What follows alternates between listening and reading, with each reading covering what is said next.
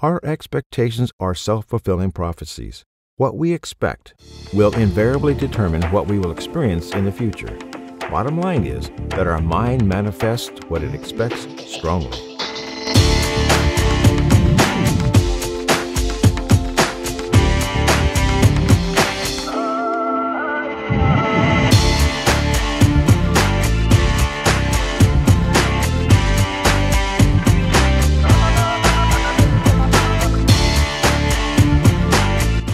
Neuropsychologists who study expectancy theory say that we all spend our whole lives becoming conditioned to believe what happens next, either positively or negatively.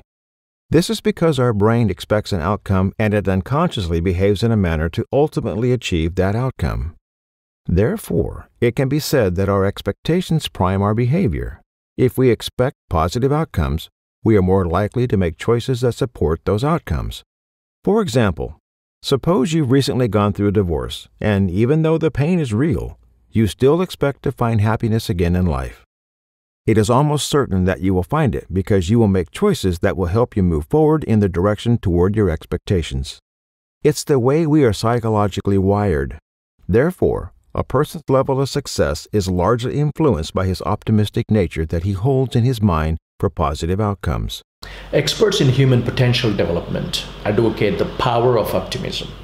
Science has repeatedly proven that people who are optimistic are generally more successful, more lively and spirited, and have a better mental and physical health, all of which further support the quality of resilience. Now, psychologists define optimists as people who generally expect good things to happen in their lives. Pessimists, on the other hand, expect negative outcomes. The difference is in the nature of their expectation and the confidence they hold on their future and themselves. In a study involving 70,000 nurses, researchers found that higher optimism was associated with a lower risk of mortality from major causes of death, including cancer, heart disease, and strokes. In another study, people with a family history of heart disease who had a positive outlook in life were one third less likely to have a heart attack than those who had a negative outlook. A study of cancer patients revealed that pessimistic patients under the age of 60 were more likely to die within eight months than non pessimistic ones of the same initial health, status, and age. According to Dr. Martin Seligman, optimists have a completely different way of viewing success and failures as compared to pessimists. When an optimist experiences failure, he or she believes it's a temporary setback and a learning experience. In stark contrast, when a pessimist experiences failure, they assume that it is due to their lack of ability and begins to believe that it is a permanent situation they are stuck in. If they have to try again, they just know that they would fail again. So what's the point of trying? Some pessimists see failure as a certain outcome and they even stop trying such people act the symptoms of what is called learned helplessness. Learned helplessness is a psychological condition which affects both people and animals. It's a tendency to interpret a future event or expect it to happen in correspondence to a past experience or a past outcome. Some people develop a tendency of helplessness and powerlessness in areas where they have failed before. Now, Seligman demonstrated in his theory that people can be broken down by repeated experiences of failure to ultimately reach a point of extreme pessimism. What he also found was that optimism is something that can be learned if you learn to change your explanatory style and your belief in the future. He also discovered that optimists constantly talk about what things are rather than what they aren't, what is in front of them instead of what is not. The difference is that pessimistic people talk about what things are not. Dr. Seligman also claimed that the manner in which optimists and pessimists explain their failure is very different from each other. There are three basic differences in the reactions of optimists and pessimists. The first difference is that the optimist sees a setback as temporary, while the pessimist sees it as permanent. The optimist sees an unfortunate event, such as an order that falls through or a sales call that fails, as a temporary event, something that is limited in time and that has no real impact on the future. The pessimist, on the other hand, sees negative events as permanent, as part of life and destiny. The optimist makes a mistake and brushes it off. The pessimist makes a mistake and considers that he or she is not really good enough. He or she is not competent. He or she is not likable, popular, or successful, and becomes depressed, becomes uh, possessed by self pity, sees themselves as a victim, and feels like quitting. The second difference between the optimist and the pessimist is that the optimist sees difficulties as specific, while the pessimist sees them as pervasive. This is really important. This means that when things go wrong for the optimist, he looks at the event as an isolated incident largely disconnected from other things that are going on in his life. He deals with it and gets busy and puts it behind him.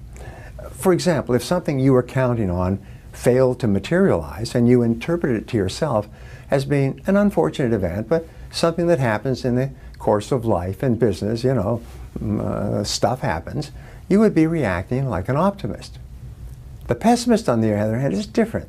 The pessimist sees disappointments as being pervasive. Ah, woe me.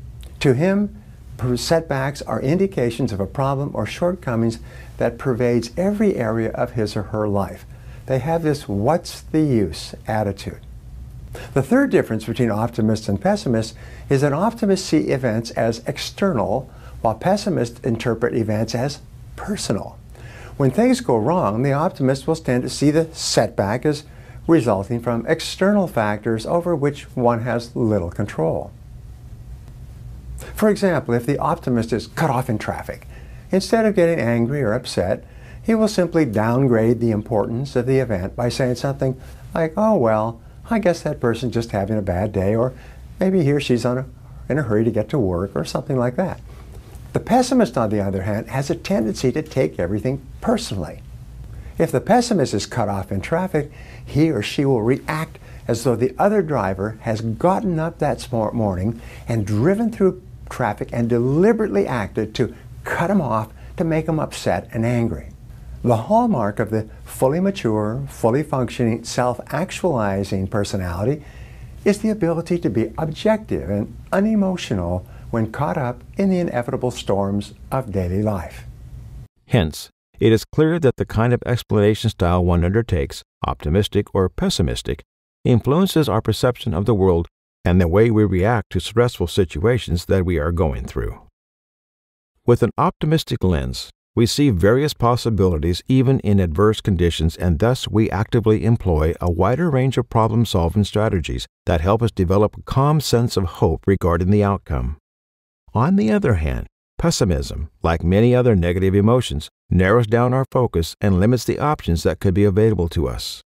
Nobody is born with an explanatory style. We all gradually develop one. Nobody is a born pessimist. Children are optimists. Somehow, down the line, as we grow up with experiences, especially the bitter ones, our nature of optimism also changes. Moreover, optimism is a delicate subject to consider. Often, we misunderstand what exactly is optimism. There is short term optimism, and also exists a long term optimism.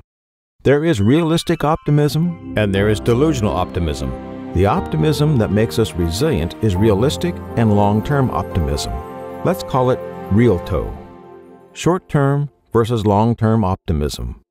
Hope is important because it can make the pleasant moment less difficult to bear. If we believe that tomorrow will be better, we can bear hardship today. Thich Nhat Hanh. Optimism is a positive expectation about the future.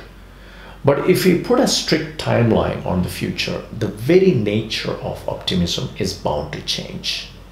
To prove my point, let me first introduce to you the idea of what I call the short term versus long term optimism in the light of Stockdale paradox.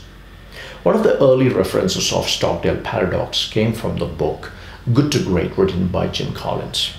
Now, James Stockdale was a naval officer and a Vietnamese prisoner of war.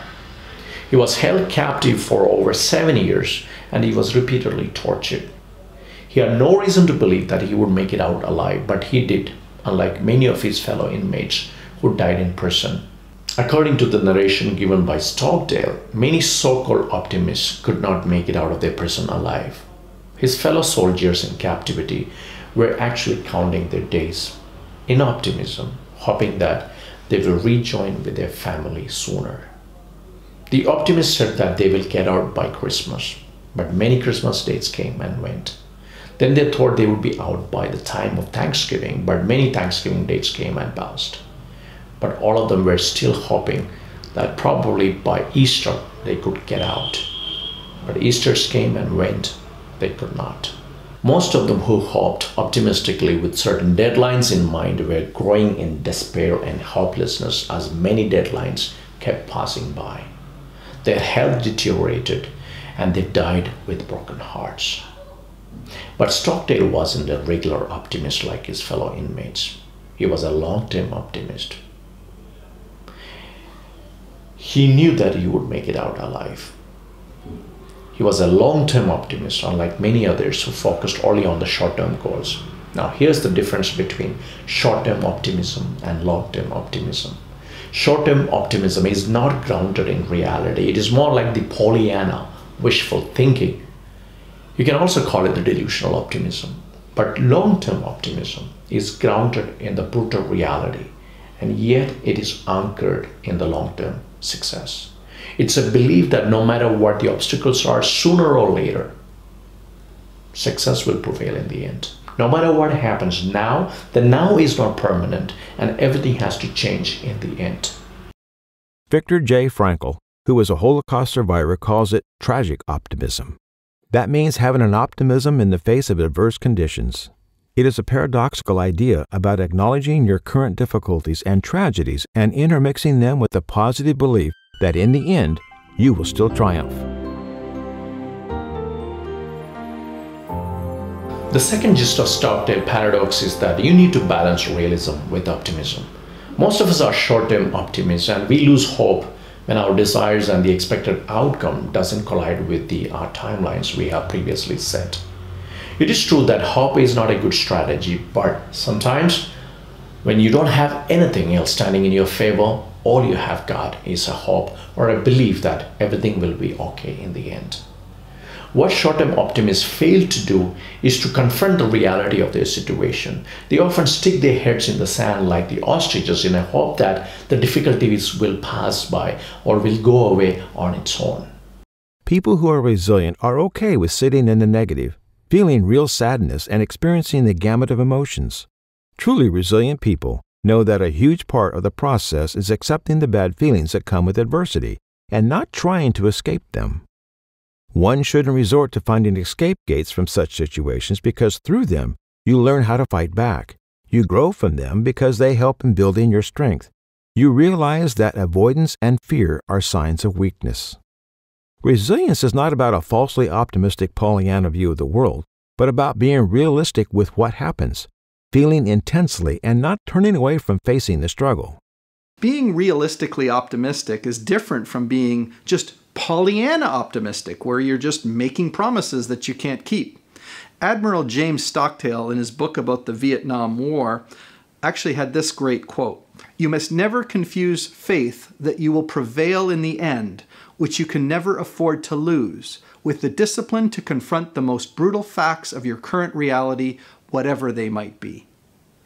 What Stockdale was saying is that when they looked at people that came out of the war and had aftershocks from the stress that they had endured, the people to die in captivity soonest were the ones who said, We'll be free by Christmas, or We'll be free by summer. Because once they set that expectation in their mind, they only had the reality of not hitting those milestones, and that would cause depression and dejection. What Stockdale advocated is that you have realistic expectations and you're optimistic, but in a realistic way. Resilience is about engaging with life and involves being authentic with your experience to reach the other side. Rather than circling around it or wishing that it disappears on its own, it is an option that's common, apprehensible, and available to all of us. The first thing that we know about resilience is that resilient people are realists. And I'll give you a corporate example of that. Remember, there was a first bombing of the World Trade Center years before the planes actually crashed into the towers. At that time, one company, which was Morgan Stanley, said, We better recognize we are in a very high value target, and this is not likely the last attempt. Sooner or later, the terrorists will come again to destroy these towers, and we have to be ready. That's what a realist does. No ducking of the head in the sand, no wishful thinking, just like, hey, we have to pay attention here. And what they did was to get a, a wonderful, resilient Vietnam vet as their head of security and do drills constantly so that their people, over 7,000 of them, knew how to evacuate from that tower. And then they also got three offices off site so that were the towers to go down, they'd be able to continue their business. Well, what happened? Um, it was so sad uh, during during the planes crashing into the towers on 9 11 is it paid off for them, even though their floor took a direct hit. Fortunately, they were in the second tower so that they had some, some time. But the security got everybody out but seven people. The head of security actually perished because he was getting everybody else out. But it's extraordinary that they were able to evacuate virtually everybody from those offices. So we all have to be realists. If you're living in a lousy marriage, if you're living with an abusive person, you have to be realistic. It's unlikely that person is going to change. You're going to have to make a radical step toward your own freedom. Or if you've lost your job, it's not a good idea to sit around and do affirmations and expect a job to come to you. You need to get out there and be a realist and take charge. So, realistic optimism is a really important concept and it's really useful, especially at a time like this. I'm going to break it down a little bit. So, to begin with, thinking about the realistic part of it, being realistic is being able to take a look at our situation, where we are, what's happening, and really evaluating it and knowing what the truth is, what, what, what is the reality of the, of the world that we're living in right now. The other thing that's really useful for developing the optimism side of things is if we can look at past experiences that we've had that maybe were quite tricky or were a hard time or was an experience where we went through that was really tough. If we can look at that time and work out actually what were the things that worked, what were the things that helped, what were the things that got us through, what did we learn about ourselves and how did we grow as a person from that experience? So it's this idea that we can actually grow. We're not fixed. So realistically optimistic people think that they can actually make things happen for themselves. They also recognize that there will be challenges and there will be obstacles and that at times it will be really hard. And that is the reality of it. But if they stick with it and they go through those obstacles and they do the hard work, that actually there may be a positive outcome, an optimistic outcome at the end of it. This pandemic is a world changing event. We are already experiencing its impacts in different arenas of our lives. Now, getting back to normal without knowing the brutality of the situation can make people delusionally optimistic to a new reality which they are not prepared to handle well. Here's the thing short term optimism will kill your resilience. Therefore, it's time to really focus on the long overhaul and to re strategize and bounce back from the failures and the declines you must be experiencing right now. It's important to cultivate the belief that no matter what happens, in the end, everything will be fine. We don't know when, but surely the difficult phase will pass. Nothing stays the same forever. I feel it's paramount to develop the quality of being patient for reaching the end. A resilient person looks at the long term view. They take a long term view. They step back and they see the long term. They are prepared for the long haul. Rome was not built in a day, and they know that their future, their future, is determined by their efforts today. So they do what they need to do today, but they also know that it's going to take time. That's what a resilient person does. The reason we need to be a long term and a realistic optimist is because we see many people becoming hopeless and helpless with the situation they are currently in. In these times of uncertainty caused by the pandemic during the quarantine, many people thought things would get back to normal in just a few weeks.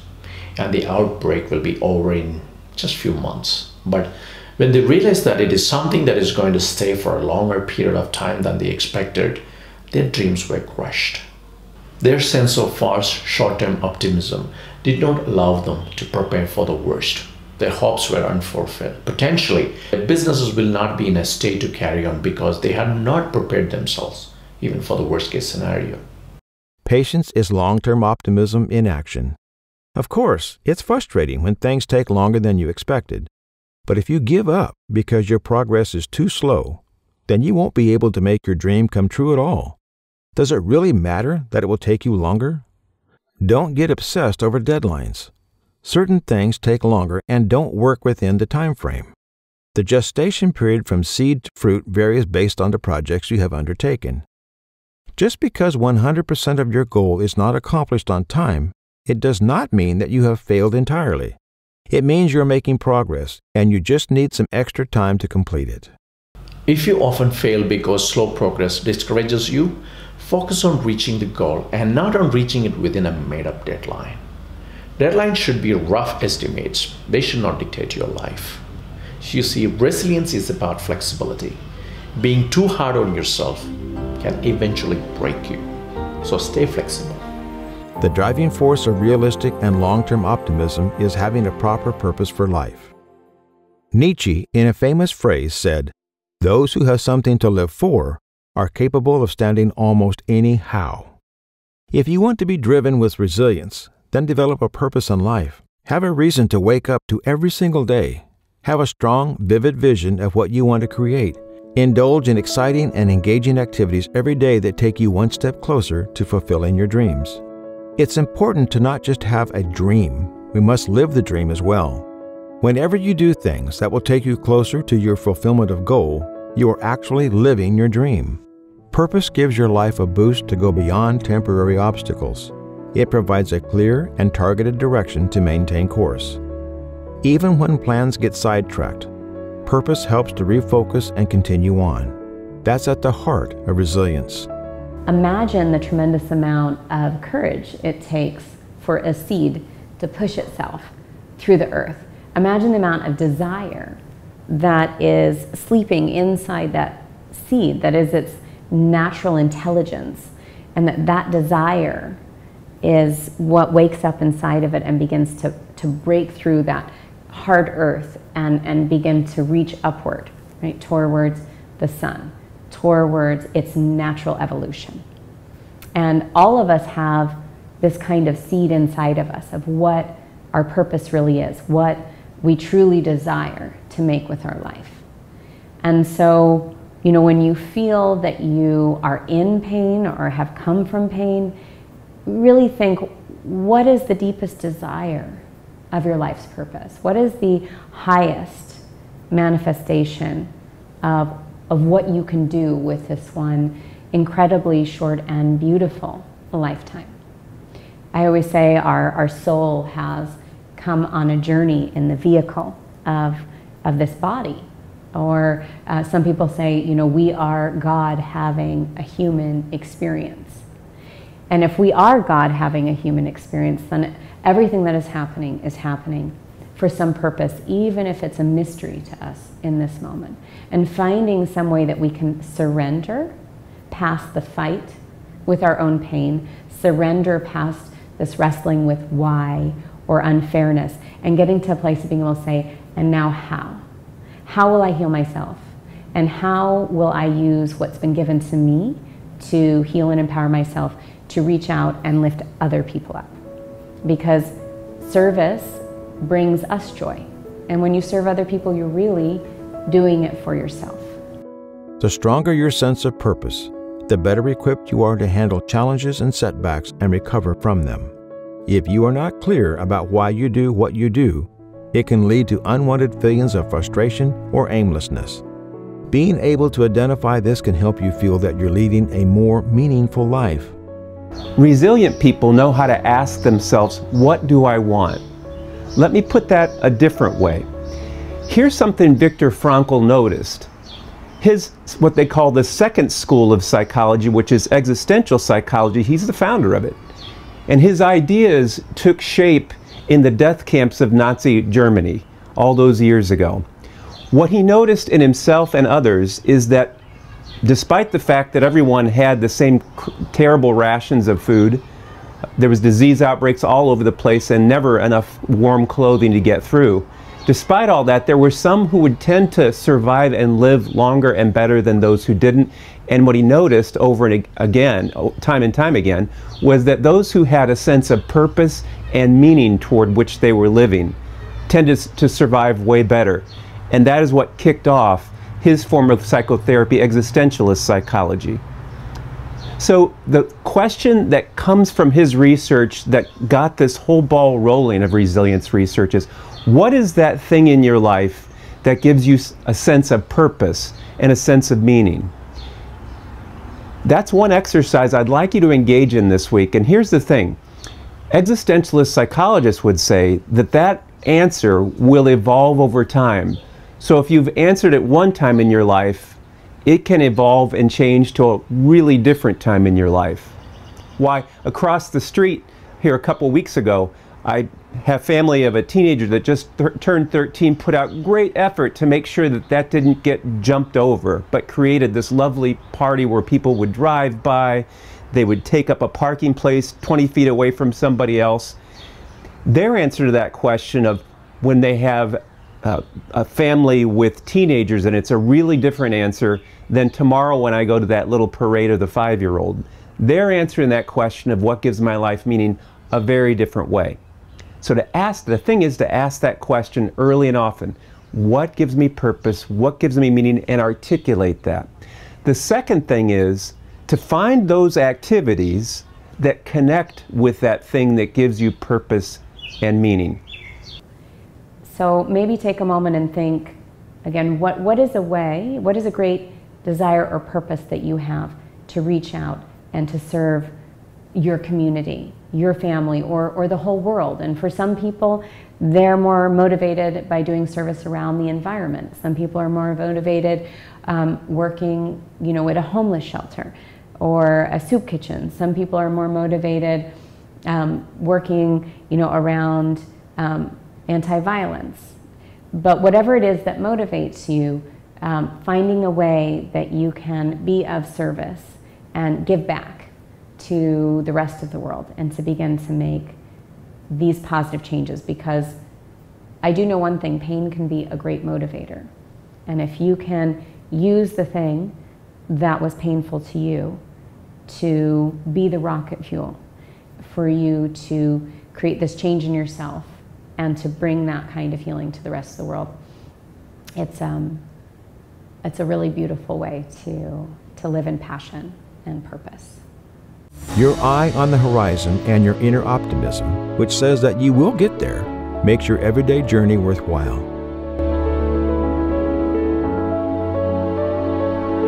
You cultivate the never give up attitude because you are driven to achieve something larger than you.